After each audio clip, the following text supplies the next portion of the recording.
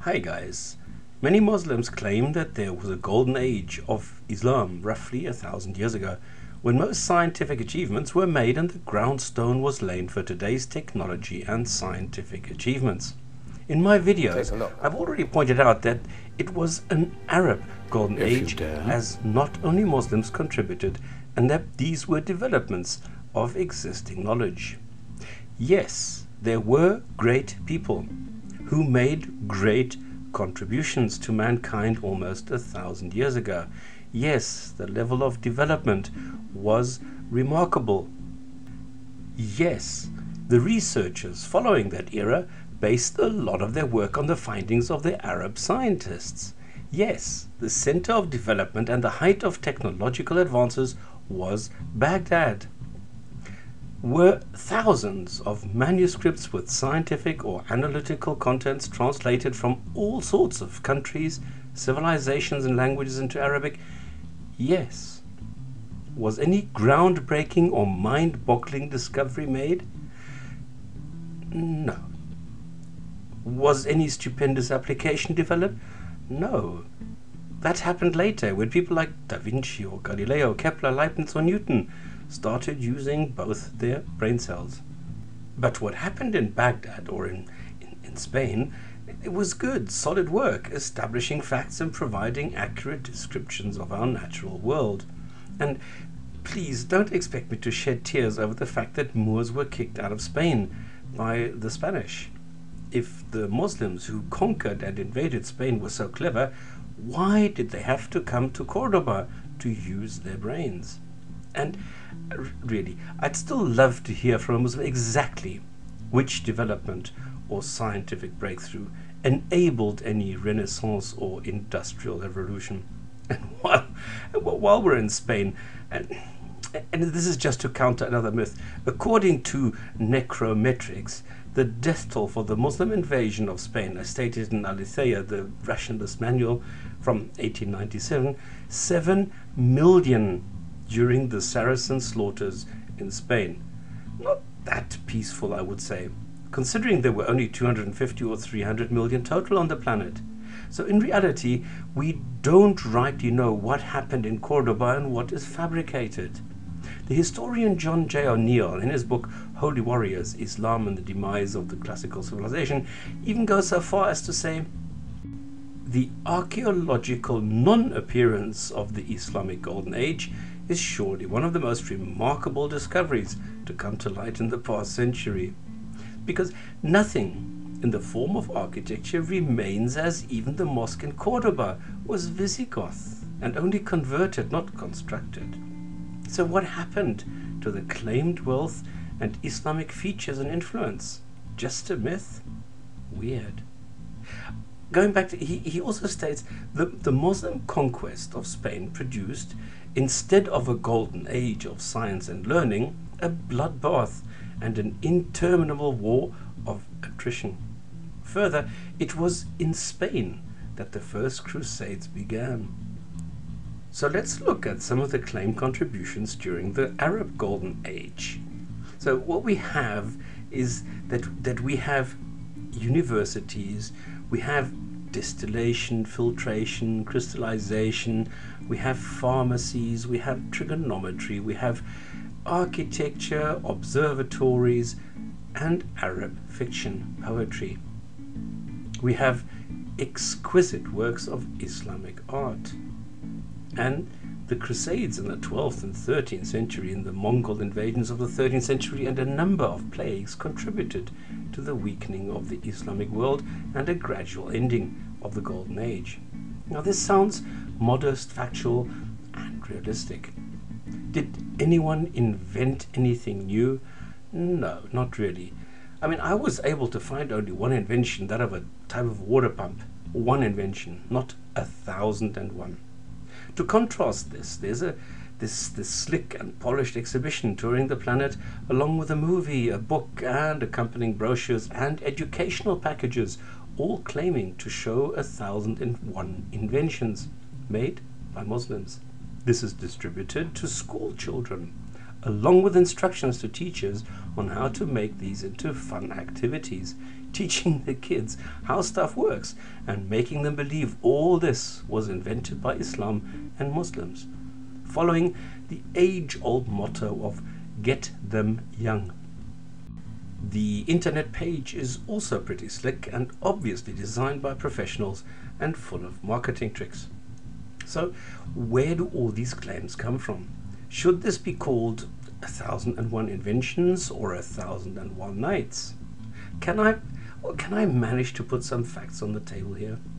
We are presented with well, Prince Charles in the form of a photo, implying in the text that he actively supports the exhibition or initiative or whatever you want to call this. In reality, all he's done is write the foreword of one of the editions of the book saying that I am delighted to see the success of the initiative called A Thousand and One Inventions, which presents and celebrates the many scientific, technological, and humanitarian developments shared by the Islamic world and the West. It's romantic, but hardly earth shattering. The rest of the page is only self praise and marketing. We are informed that the book is richly illustrated, something I last saw in Harun Yahya's hilarious Atlas of Creation. We're also told that it is now an award winning international science and cultural heritage brand. Whatever that may mean. Probably nothing, but it has all the right keywords meaningless yet effective. They claim they are the global leader in popularizing awareness of the thousand year golden age of Muslim civilization, and then say that men and women of different faiths and cultures built on knowledge from ancient civilizations. So, first it's Muslim civilization, and then it's men and women of different faiths and cultures. So, what happened to Muslim civilization? Not so Muslim anymore? Also found on the page is the announcement that the exhibition will open in Washington. They tell you that, well, it's in the National Geographic Museum. They tell you where it is and what the entrance fees are.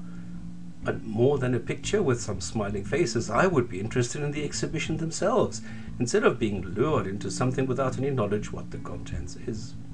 They also advertise a book which was published earlier this year and apparently contains the foreword of Prince Charles.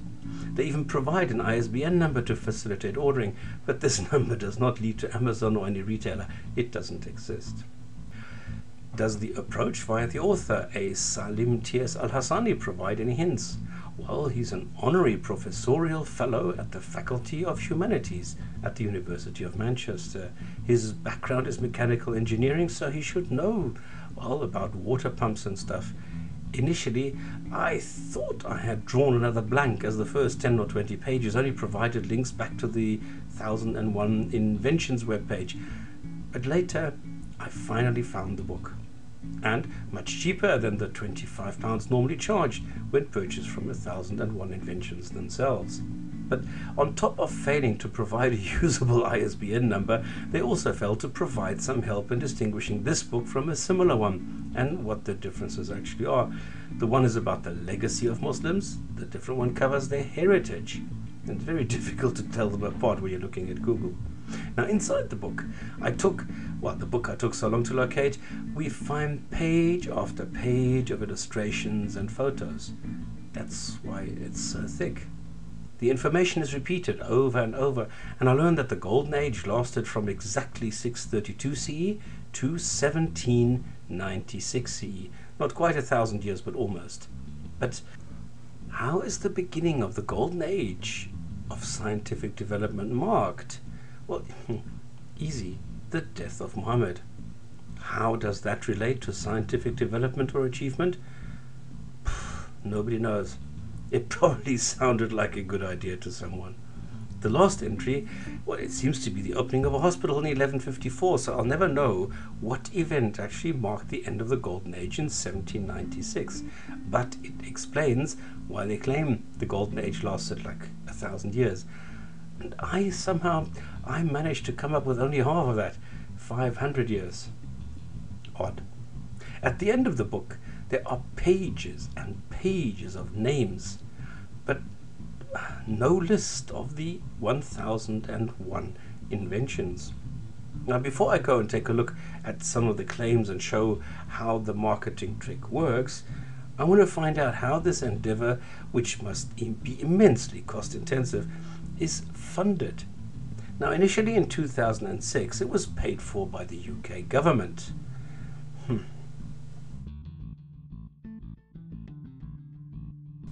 The launching institution was and still is the FSTC, the Foundation for Science, Technology and Civilization. Its aim is to increase knowledge on Muslim heritage, as it is totally and completely non religious and apolitical. They also want to promote Muslim heritage, totally non religious, of course. It is probably sheer coincidence that the president of FSTC and the author of the book mentioned earlier are both Salim T.S. Al Hassani. Well, they can't make up their minds, but the deputy chairman or, or chairman, they swap between the two, who's also a professor, a Muhammad Al Gomati, obtained his single BSc in two areas, maths and physics. Now, this does not mean that generally the academic titles are the result of diploma mills and worthless, just that I personally have my reservations. It is written on the FSTC page that Professor El Gomati is a prolific scientist who publishes extensively, and they provide a link to his latest 30 publications. Um, alas, these are dated all the way back to 2000, and many are just proceedings or talks, not as prolific or active as I would have expected. What I suspect is closer to the truth is the following statement that he's a religious advisor to a number of UK universities and charities and speaks on the contribution of Muslims in science, technology, and civilization. Now that fits much better with what the aims are. But back to the funding. It says there that the global tour of the 1001 Inventions exhibition is sponsored by ALG Community Initiatives, which is the corporate social responsibility arm of the ALG Group, a Toyota automobiles distributor in 13 different countries. Yes, I could not find out who pays for the materials, exhibits, documentation, and the pricey marketing in form of a movie including the actor Ben Kingsley. Besides, the FSTC, which wants to trigger a social change by exploring the cultural roots of science, I found groups such as the Muslim Heritage and the Muslim Heritage Awareness Group and the Curriculum Enrichment for the Future, as well as various names which are dropped to make it look as though institutions such as Wellcome Trust and the British Science Association are part of the initiative. Who, at the end of the day, the investors are is not actually revealed. There is no business plan and no strategy paper. There are indirect indicators where a Saudi ambassador presents a book financed in the UAE. Seems to be quite quite intricate.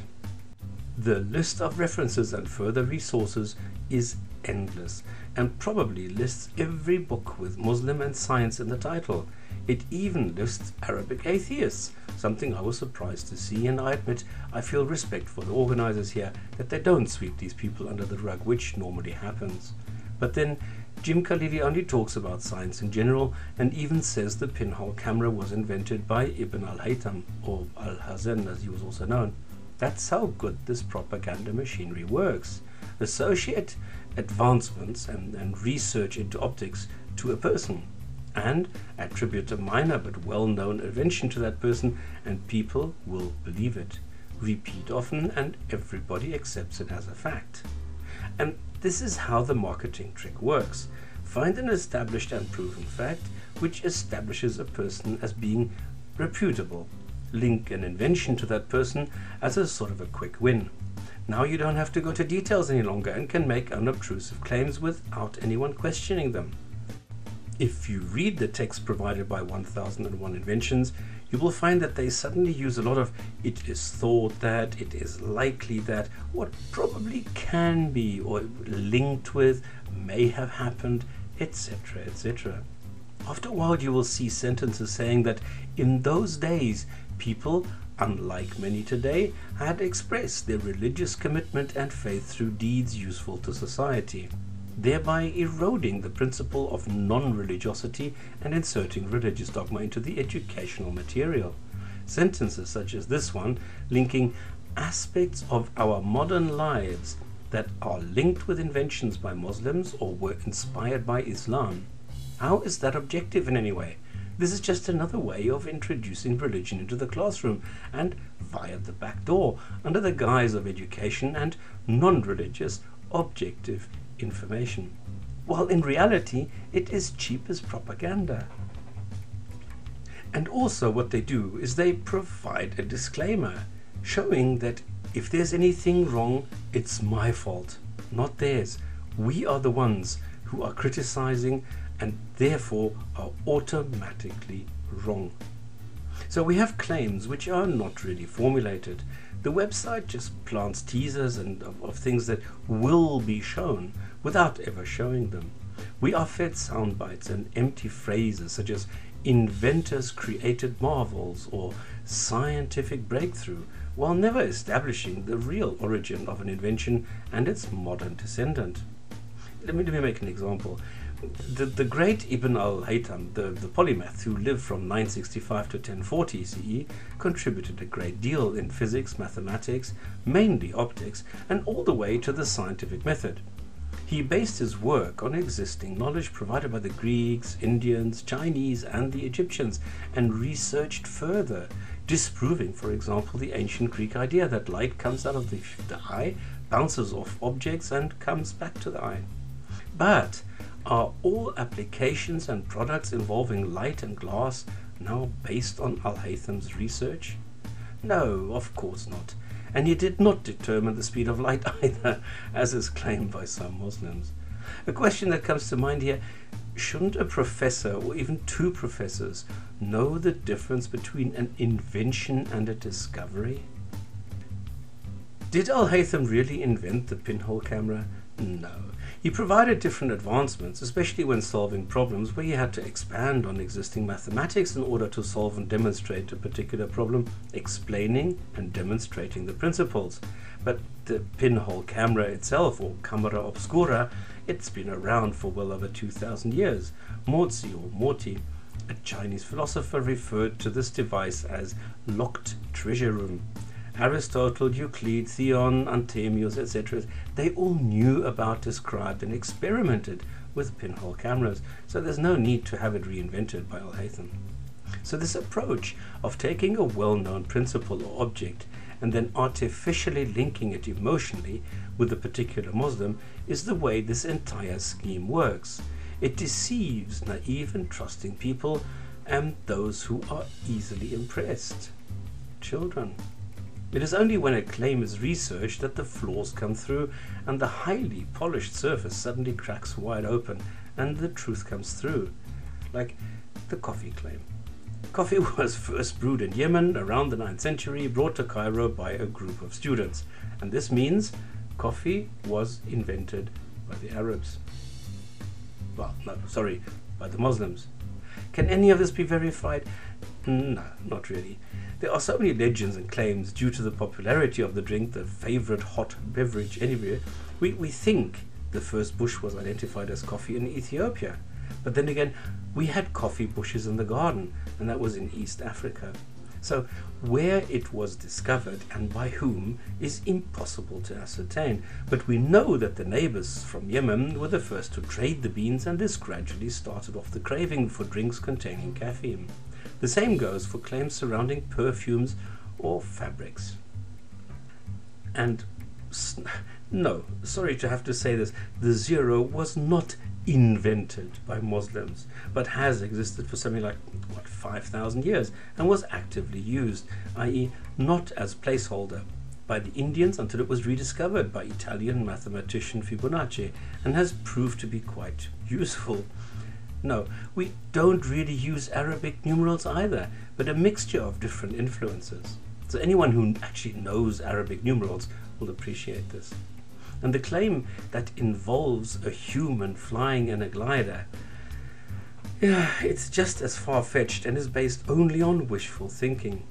We have claims of people attaching themselves to kites and balloons. We have powered flights made two and a half thousand years ago, all with a maybe or possibly attached to it, or the some say introduction.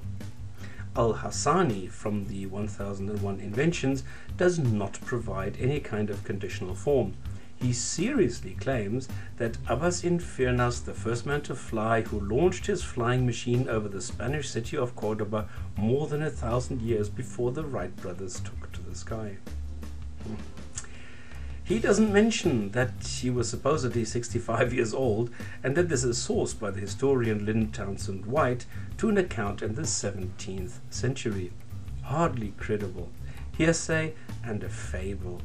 But this does not stop a man calling himself a professor misleading people by making it look as though there is evidence to support this claim, and as though putting a beard and a turban on a model hang glider pilot makes it true and to top it all off, he calls it a replica. Of what? His imagination? The other itemized claims are also mostly hearsay and maybes. I mean, things like water clocks have been around for thousands of years, so there's no biggie here. Why make it look so? Just to be clear on this, I'm not talking about whether or not someone built a hospital or university with some unique feature, which I showed in the beginning. That's laudable and great. I'm talking about the rubbish claims. The first camera, the first pump, the first glider, the first surgery, first astronomical whatever. But what bothers me most is that this company, trying to establish itself as a brand, which is recognized and perceived as reliable, is not caught out from the word go. It seems that anything starting with an A will be claimed by Islamic institutions in the future. And what bothers me about this is that anyone can make any claim made by these people and verify it, or falsify it in the cases that I looked at. But why are people so gullible and uncritical? Every adult, and especially parents of young children, should know by now about viruses being sent by email looking perfectly credible. Everybody should know that a letter telling you of a huge amount of cash just waiting to be picked up by you is a scam. Anything that sounds too good to be true probably is. And this also goes for scientific claims or claims made to sound scientific using pseudoscience. Are we too lax in checking scientists because we're too lazy or afraid that we might look inferior? Don't we care what our children are taught? Don't we first check? I mean, scientists such as humans aren't fallible, so why don't people check just a little bit? We all know the hype which surrounded Zakir Naik and Harun Yahya and how foolish they look today because they lied and fed people false information. And this was unearthed via the internet and people with critical thinking skills. Will the same be true of a thousand and one inventions when people start looking behind the sparkling facade and realize that none of the claims can be verified the way they were made?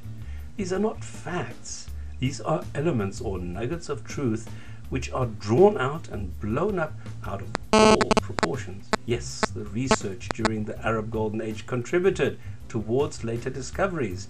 Yes, I will admit that easily and any time. But then, doesn't all research do this? Why not simply stick to the truth? Muslim scholars brought many new inventions and also improved or reintroduced old inventions, like the elephant clock, which embraced many cultures as a scientific dedication of respect and understanding. The seven meters high clock uses Greek water raising technology, an Indian elephant, an Egyptian phoenix, Arabian figures, Persian carpet, and a Chinese dragon to celebrate the diversity of the world. Now, that, that is what it boils down to just a mix of people doing their thing, each contributing in their own capacity and ability. There's no need to make any group of people, whether it be based on race, gender, ethnicity, or belief, look better or worse than they are. And thank you for your time. Ah, yeah. Oh, please go and check out the other, how many 998 claims they make, and prove they are fallacious claims just deception, misrepresentation, lies, and or trickery. Don't allow them to get away with this trickery. Thank you.